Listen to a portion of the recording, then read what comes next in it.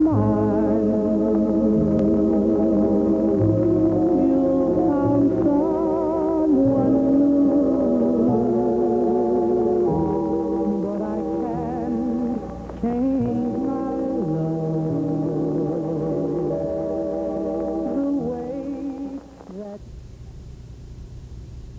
welcome to the West End Video Newsletter. Tonight we're going to do a little something. We've had uh, some well-named guests in uh, the last three or four shows, but tonight we're going to do, people keep asking me about uh, Herb Gans. Now Herb Gans wrote a book called Urban Villagers, and I was thinking about it, and uh, we can't get him up here because he's, he's head of uh, sociology at Columbia University, and he just doesn't travel all that well. He just doesn't come out. But he did come up about seven years ago, uh, and he dedicated the West End exhibit at the old at the old State House, and he gave a, a talk. So we're going to take about a half an hour of that talk today, and we're going to run it, and we're going to uh, show you what Herb Gans said about his, his landmark book, Urban Villagers, and uh, what he thought about the West End because he lived there a year before uh, it all happened, and, and he in that year before he took pictures and wrote a book.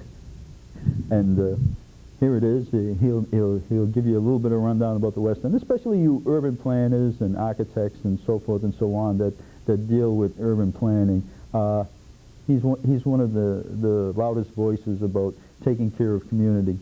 And uh, here we go. I guess you can roll tape.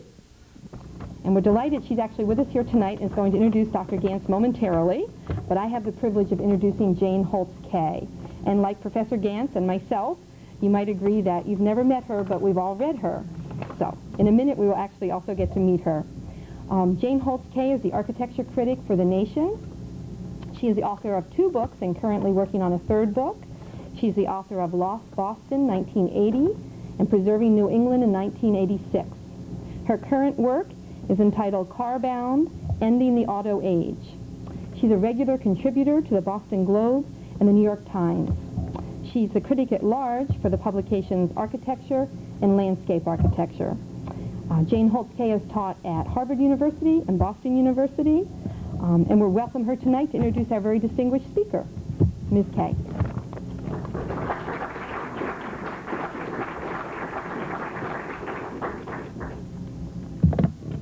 It's very nice to be with you all to celebrate the reincarnation of the old State House, which is the only thing here, I think, which, which needs no introduction.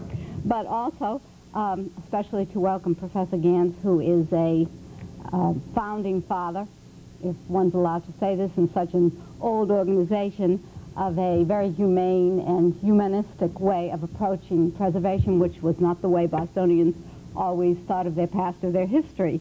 Um, but in terms of many of us here, the kind of validation that Professor Gans gave not only to high art and high history, but to low art and low history, as the West End was clearly perceived in the period when it was flattened, is very important to very many of us um, because he taught us that these, this kind of neighborhood, which is so typical of so many of our neighborhoods, um, was a repository of the past and of our identities in a very meaningful way.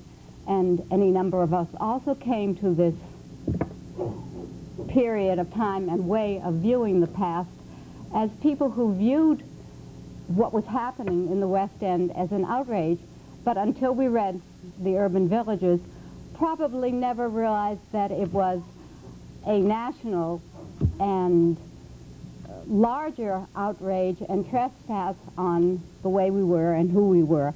Um, and that approach to history and sociology um, was the way Professor Gans launched a career of that kind of caretaking, which was a rare blend and remains a rare blend, I think, of scholarship and compassion, which in some ways is as impressive as the more formal resume, which um, I have here, which um, describes Professor Gans as a Robert S.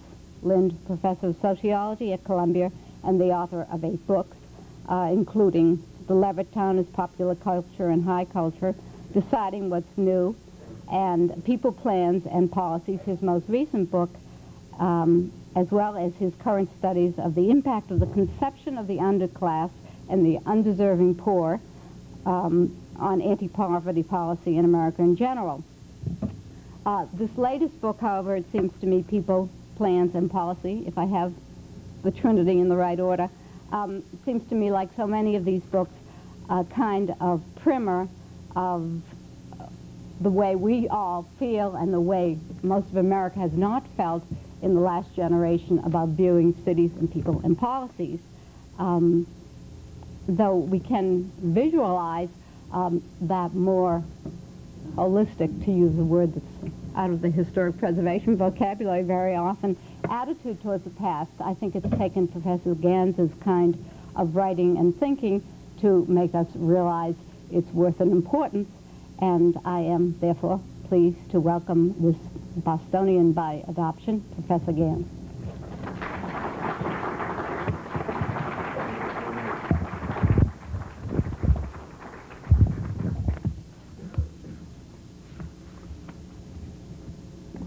I'm flattered to be here. I'm flattered by the introductions.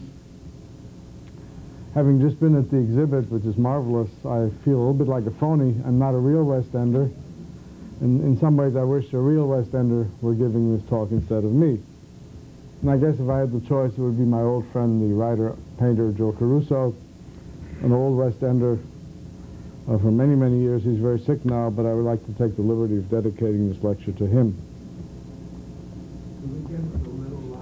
Yeah, the, we have a, whoops, I think I've broken the technology.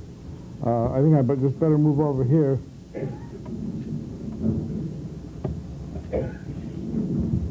Miss Cage, do you understand what this is all about, the acoustics up here? uh, well, let me, let me just scream a bit uh, and see if I can do that. If somebody had bet me in 1962 uh, that someday there would be a museum exhibit, and a lecture service to remember and to celebrate the West End and the people who lived there, I would have laughed, and then I would have cried. After all, in 1962, Boston was celebrating that it had torn down the West End, an area that was officially judged to be detrimental, in quotes, to health, to the health, safety, morals, and welfare of the inhabitants use the official jargon of that time. And Boston was celebrating also that it had relocated, in quotes, the West Enders from their slums, in quotes, into safe and sanitary housing, also in quotes, uh, more of the jargon of the times, in order to replace them with a well-planned, high-income neighborhood, and it goes without saying, a high-income population. What Boston had actually done, however, uh, was to tear down a vital low-rent district occupied by hardworking, law-abiding, moderate income and poor people who benefited from the low rents in the West End, from the central location, and from the relatives and familiar neighbors who were living around the corner. Moreover, Boston had in fact not relocated very many at all since most West Enders had to relocate themselves, almost always at much higher rents, which cut further into tight family budgets, and in farther away areas, which in the transportation cut further into tight family budgets. The city had also brought about the destruction of neighborhood businesses, institutions, and of course the livelihoods of people involved in these. In many cases, as Marc Fried and his colleagues discovered later, the displacement and the destruction had produced depression among the ex-residents of the West End, premature deaths among the older folk uh, who were lost outside the West End. And to rub it in some more, the displaced were subsidizing by their involuntary departure, not to mention their tax monies, the construction on subsidized land of a high-income housing project on the now empty land of the West End. Now it is true that when the West End was torn down, it had a number of slummy buildings. There were also some alley blocks with lots of vacant and dilapidated buildings. But some of these, and we don't know the exact number, were created by the, by the announcement in 1953 by the Boston Redevelopment Authority that it, that it had decided and had gotten federal approval to tear down the West End, and of course at that point all the landlords stopped investing. Young people who had planned to stay moved away. Uh, buildings became vacant, and the alley dwellings, which were not, uh, which were the poorest of the housing, uh, emptied first. There was also some crime and delinquency in the area, and of course poverty, as already mentioned. And the crime and the delinquency and the poverty were all mentioned to justify the demolition of the area. But of course, you don't make people less poor uh, by forcing them out of their neighborhood and forcing them to pay higher rents. But this is what Boston did. Now, how could all this have happened? Talking about it 30 years later sounds totally insane, but it happened. And it was done by rational, in most cases well-meaning people, by government officials here in Washington. How did it all happen? Urban renewal began officially as a federal project in 1949. But it, that, project, that program had been the outcome of many decades of lobbying of the federal government and of local governments by national and big city realtors, builders, developers, uh, downtown property interests who wanted to tear down low-income areas near the downtown uh, for so-called higher uses. And again, higher uses is in quotes. And higher uses, when translated into plain English, meant more prestigious and profitable residents or other occupants, some fancy shoppers for the downtown stores, more jobs for construction workers and therefore for the unions, more profits for developers, obviously more things to do, more taxes for the city, and last but hardly least, some campaign funds and party contributions from the developers to the politicians. And that is a unexpurgated translation of higher uses.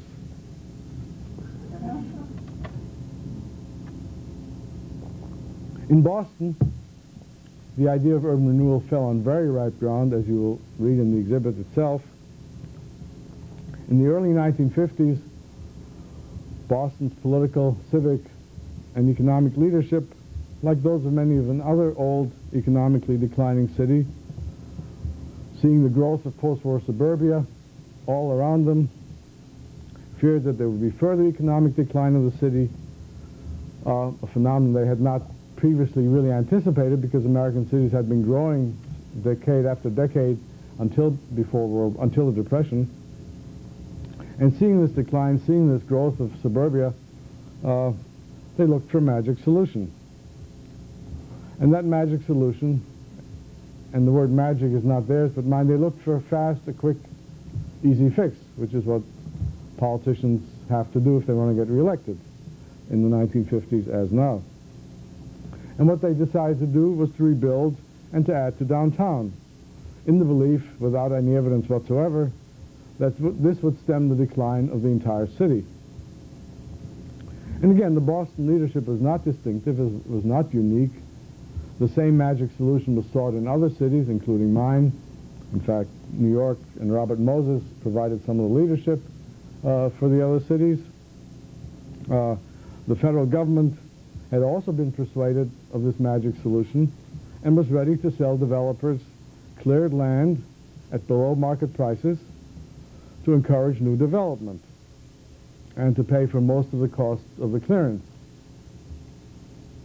even though there was still no evidence of any kind that subsidizing downtown in this way would do anything uh, for the city as a whole. It might do things for downtown. There was no evidence that it would do things for the city as a whole. And in those politically primitive days, it's sad to say, even liberal Democrats had no problem with this analysis and with this magic solution. Deciding that a poor or working class area was a dangerous slum full of socially undesirable people seemed to go with the kind of upper middle and upper class liberalism of the day and dispersing them all over the place would be a liberal solution. So this this magic solution was politically acceptable to just about everybody, except maybe the libertarians who said government money shouldn't be spent for this kind of thing. And as I recall, the three or four libertarians that they were in the woodwork here as elsewhere uh, were against the renewal for that reason.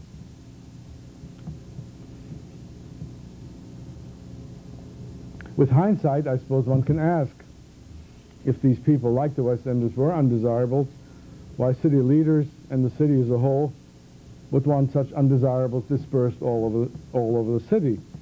Wouldn't it be smarter to keep them bottled up in their slums, where they couldn't infect the rest of the city? But, and while this was, this idea of bottling them up uh, was around American social thought in the 19th century before the invention of sanitation, public sanitation and public health, when in order to prevent epidemics, you had to make sure that the, the very poor were bottled up, that they couldn't get near the middle and upper classes. Ever since public sanitation had been invented, public health had been invented, uh, medical, the medical progress had begun against the epidemics. Uh, there had been a doctrine in America of reducing poverty and improving the lives of the poor, not by giving them money, but by tearing down their housing and sending them elsewhere. Again, it was not a very thoughtful or a sensible solution if one looks at it in the cold light of day many years later, but the belief was genuine. The feeling was that uh, that slums caused slum dwellers, that good people, once they were living in something called slums, became bad, that if you removed them from these slums, they would become good again. And so genuine, it was a belief of genuine American innocence of the old style, American naivete. You want to be nasty, you can call it American mindlessness, upper, upper class civic reform mindlessness, of which we have all kinds of, of kinds of examples in our history, uh, of well-meaning but not very well-informed uh, upper class civic and political leaders. But of course, at the same time and behind them, there were other people with other motives. The people who wanted to replace the poor with higher uses uh, of the kind I've already mentioned. Now, quite often, the urban renewal areas uh, were racial ghettos. And then the higher uses also meant getting the blacks away from downtown. Indeed, urban renewal was known as Negro removal uh, because about 80% of all urban renewal projects were removing blacks uh, from the downtowns of American cities. And the West End was distinctive in that it was one of the few largely white areas to be torn down under the urban renewal program.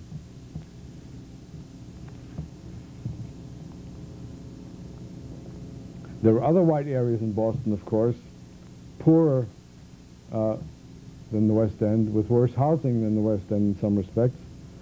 Uh, Chelsea, Charlestown, which I was told today is becoming a gentrified uh, condominium neighborhood. It was a very poor area in the 1950s. Even the South End, but all these were really too far away from downtown to suit the developers. Others, like the North End, and the North End particularly, were untouchable mostly because north, the north end had already sacrificed a third of its area to the central artery. Where the central artery now goes, there was once the north end. This was before my time, too. Uh, and the north end had enough political power to say no more. The west end had no political power for a variety of reasons which I won't go into now, which I think somebody will talk about later in this lecture series. And so the west end became the victim. The West Enders had a hard time understanding why they were picked because everybody knew that West End housing was better than North End housing. The housing, the apartments were newer, the rooms were bigger, there were fewer shared toilets, uh, and there were fewer cold water flats. And in fact, one of the things I remember talking today with old West Enders was when the West End was being, when the relocation time came, people said, we don't want to go back to the North End. We came from there. We improved ourselves by going to the West End. Please, not the North End again.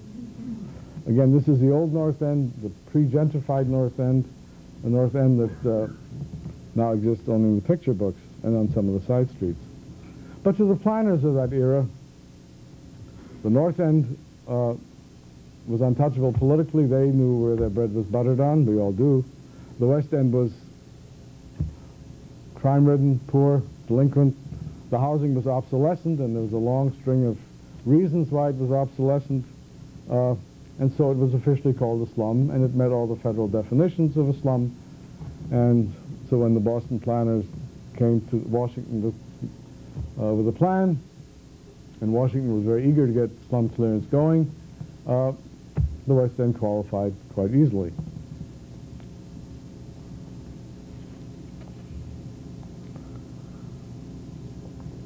And again, there was agreement here for many others in downtown Boston, including politicians, civic and religious leaders, newspaper editors. In fact, even the boards of the settlement houses in the West End believed that if the West Enders could get out of the slum, they would all do better. And that was, I think, one of the things that hurt the West Enders. Uh, those who who still went to the settlement houses hurt them uh, most, because here were their own settlement house leaders, not their own leaders, but the leaders of the settlement houses in their area saying, well, this is a terrible neighborhood, uh, let's get these people out of there and make their lives better.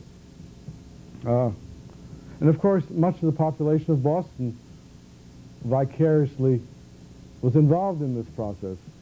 Uh, they didn't go into the West End. There was no reason to go into it. There was nothing there for, uh, there were no tourist attractions. There was Freedom Trailers in the North End. Uh, there may be a couple of cafeterias and a bakery that uh, Italians from everywhere came to. Uh, but the ordinary Bostonian didn't come to the West End. Uh, and the newspapers were telling him all kinds of things, and the, the, the, word that will always stick in my mind was that some writer said the West End was a, had, was a cesspool, had always been a cesspool, and should have been torn down 50 years ago. Uh, and so the image of the West End as, as a slum, as a cesspool, uh, since there were Italians there, uh, Italians were thought to be dangerous in those days. Everybody knew that. You know, they were all mafioso, if they were not mafioso, they carried knives anyway because they were Italians. Uh, things have changed in America for the better in some respects in the last 30 years, or the last 40 years. But I think there was general public support for the uh, demolition of the West End. Because, uh, again, people hadn't been there, they didn't know what the people were like. Uh, there was no reason to be against it, and everybody said it would be good for the city. I don't want to embarrass anybody by digging out old clippings and saying what respected newspapers and magazines and authors had to say about the West End. I won't do that.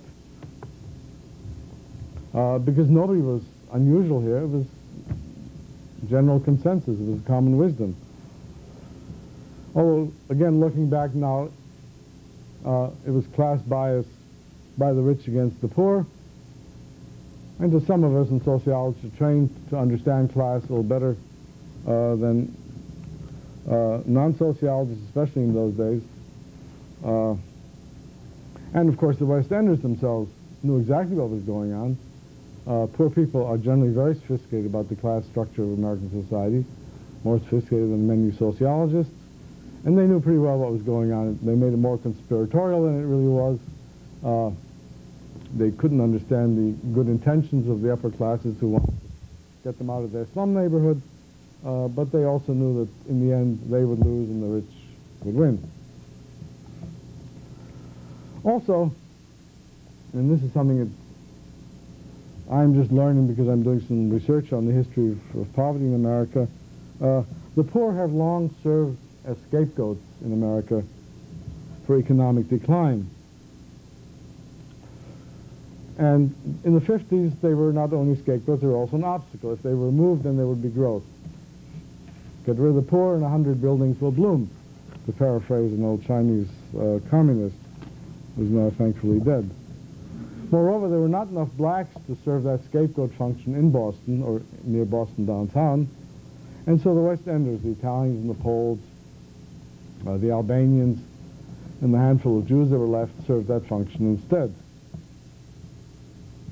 And in retrospect, uh, maligning the West Enders seems to me to, uh, to, have been a kind of mass delusion. Uh, and we all are subject to mass delusions. At the time, uh, again looking back, America and Russia was involved in a mutual mass delusion in which both countries spent themselves into poverty uh, by a Cold War that was totally unnecessary, and, and a hot part of a Cold War that was in the end totally unnecessary. Neither side wanted it. Each side thought the other wanted it. Again, an international scale mass delusion. The West End was a local mass delusions. I can re read off a list of New York mass delusions, uh, uh, and we still have them. Uh, and we still have scapegoats. And at the moment, it's an imaginary population called not slum dwellers, as in the 50s, but underclass. If we were attacking the West End now, it would not be called, they would not be called slum dwellers, they would be called an underclass. Same fantasies, same delusions that here, these are dangerous people simply because they don't have any money. Um, and again, some you can find statistics because their rates of crime and delinquency are higher than the middle class, uh, and they are. But uh, if the rates are higher, the majority in, in all these neighborhoods have always been law-abiding. And those kinds of statistics uh, don't get so much publicity. And also urban renewal is, is dead and gone, obviously, in America. But we still dare tear down or abandon or otherwise find ways of reducing the amount of low-cost housing in our cities. And now we're creating homelessness and beggars. In, in, in the old affluent days, we simply re, uh, produced displaced people whom we sent off somewhere else. Now the supply of low-cost housing is, is down to zero, and we're producing homelessness and beggars. Uh, which hurts not only them, but the quality of life for all, for all the rest of us in all, this, in all other cities. And of course, this in turn then drives more people, more capital into the suburbs, and beyond the suburbs and what some of the journalists now call the edge cities. it is easier to blame the poor and to find scapegoats than to spend money to help them. It's easier to find scapegoats and blame the poor than to build more low-income housing. But one has to object every time it happens, whatever form it happens, in the hope, which may be total, another, maybe a mass delusion or an individual delusion on my part, that if you say it often enough, and if, if enough of us say it often enough, that someday we won't do it anymore. Okay, that was Herbert Gans. Uh, welcome back, and that was Herbert Gans, uh, who was a well-respected sociologist. Uh, he's, he is in the same class as Jane Jacobs, and Jane Jacobs, who wrote uh, The Death and Life of Great American Cities, who, the, who has just had a big uh, festival up in Toronto, I think about two months ago. They're of the same class, and uh, they have the same reputation. They're two of the great sociologists in the last uh, 50 years. And uh, that was only part of his uh, speech at that time. Someday when uh, we have more time, we will show you the second half of it, because he was really interesting. He, he knows what happened at that era, and he can give you a rundown. And uh, he was uh, he watched it all with a professional eye because he was a trained sociologist, and uh, he came to the conclusion that the West End was a great place to be, uh, and they shouldn't have turned, uh, tore it down. But be that as may, it's gone. So see you at the next West End video newsletter.